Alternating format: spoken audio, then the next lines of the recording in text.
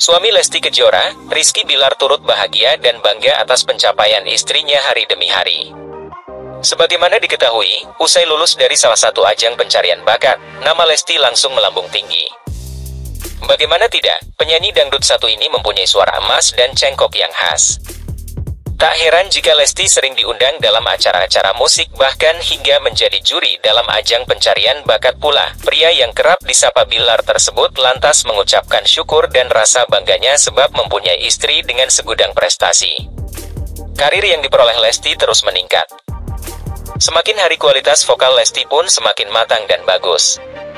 Bangga. Punya istri yang berprestasi, yang selalu ada peningkatan dalam karirnya, selalu terlibat di konser-konser besar. Beber suami Lesti Kejora, Rizky Bilar. Bilar juga mengumpamakan peningkatan dalam karir istrinya tersebut sebagai batu loncatan, agar sang istri terus-menerus bisa mengembangkan karir ke depannya. Mudah-mudahan ini bisa jadi batu loncatan, sahut Bilar. Sebagai seorang suami, Bilar tentu mengharapkan yang terbaik untuk istrinya dan karir istrinya tersebut. Ia menyebutkan bahwa dirinya berharap agar sang istri bisa menggelar konser sendiri.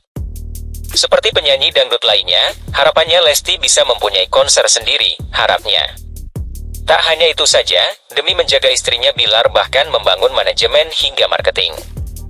Sehingga kata Bilar usaha yang dilakukannya itu bisa berujung manis.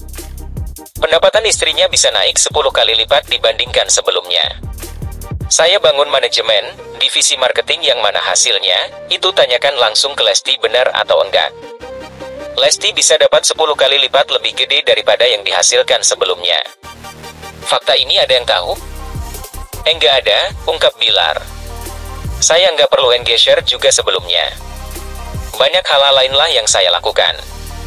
Saya menjaga Lesti dengan level yang dia punya sekarang sesuai enggak dengan value yang dia dapatkan itu kan saya jaga, ungkap Bilar. Selain itu, penyanyi Lesti resmi berkolaborasi dengan salah satu brand modest fashion Indonesia ternama, Nobi. Kolaborasi ini diberi nama Lesti for Nobi, menghadirkan sosok Lesti sebagai kolaborator Nobi. Nobi, sebagai brand fashion dengan koleksi busana muslim elegan. Memilih Lesti bukan tanpa alasan. Lesti telah memikat jutaan hati masyarakat dengan suara merdunya serta perjalanan inspiratifnya dalam menuju kesuksesan. Tidak hanya itu, gaya berpakaian Lesti yang stylish selalu menjadi perhatian banyak orang. Sehingga Lesti menjadi pilihan tepat sebagai kolaborator Nobi. Tawaran kolaborasi ini pun disambut antusias oleh istri Rizky Bilar itu. Pada waktu itu sempat ditawarin tapi belum dikasih tahu kalau yang nawarin kolaborasinya itu Nobi. Ternyata keluargaku tuh sering belanja koleksinya Nobi, jadi begitu ditawarin, aku langsung gas, ujar Lesti. Konsep yang digunakan Nobi untuk campaign Lesti for Nobi sedikit berbeda dengan konsep Nobi sebelumnya, karena kali ini kami mengangkat konsep fashion glamour.